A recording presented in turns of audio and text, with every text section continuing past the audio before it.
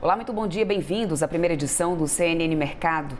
Nessa quinta-feira, as atenções aqui no Brasil estarão voltadas para os desdobramentos do relatório de inflação do Banco Central, que foi divulgado há pouco com novas projeções econômicas. Enquanto isso, os mercados internacionais seguem em alta, ainda em reflexo da notícia de um estímulo econômico mais agressivo da China enquanto os preços do petróleo têm queda, com a informação de que a Arábia Saudita está se preparando para abandonar a sua meta de preço não oficial de 100, não oficial de 100 dólares o barril. Os índices futuros em Wall Street sobem nessa manhã, impulsionados por uma onda de otimismo em torno da inteligência artificial por lá, enquanto os investidores aguardam os dados econômicos e comentários do presidente do Federal Reserve, Jeremy Powell.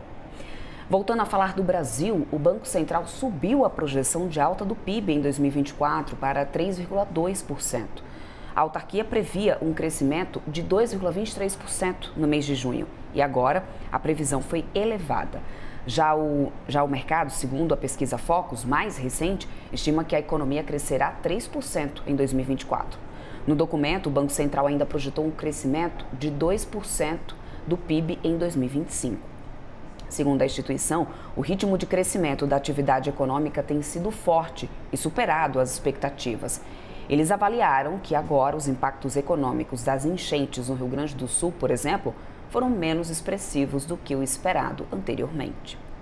E o ministro da Fazenda, Fernando Haddad, ele afirmou que a inflação no Brasil continuará caindo sucessivamente nesse ano e no próximo.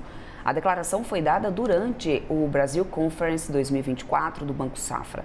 A Fazenda prevê inflação de 3,4% para 2025 e, nesse caso, o descompasso com o Focus é maior, já que a sondagem prevê o IPCA de 3,97% ao ano.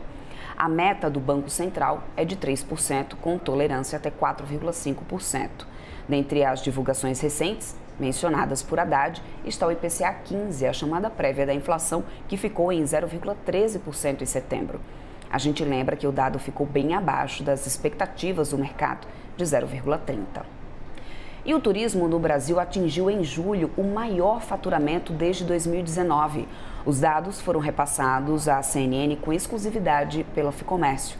No mês das férias escolares, o setor faturou 17,5 bilhões de reais. No acumulado de 2024, o valor supera 113 bilhões de reais. Isso representa uma alta de 2,2% na comparação com o mesmo período de 2023. A atividade que mais cresceu em julho deste ano foi a locação de veículos, que teve alta de quase 10%. Mesmo assim, ninguém tira o transporte aéreo do posto de principal atividade econômica no turismo. Sozinho, ele faturou 4,6 bilhões de reais em julho. Essa foi a primeira edição do CNN Mercado e eu volto às 5 para meio-dia com mais atualizações. Até lá!